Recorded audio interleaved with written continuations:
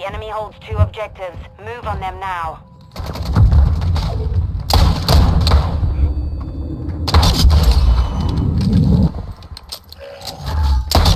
You know mate. What are you doing?